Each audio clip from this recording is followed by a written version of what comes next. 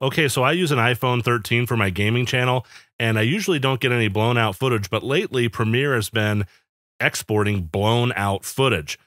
Here is a quick fix. Let me show you what it looks like.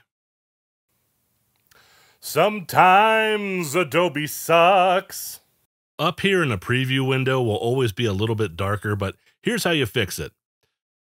Go to the project panel, right click on the original footage, not the sequence footage, the original footage. Select Modify, Interpret Footage. Down at the bottom of this window, click on Color Space and select Rec 709. Then select OK. And that should fix the problem. I hope that helped you guys. Hey, if you like gaming, check out my channel. Thanks.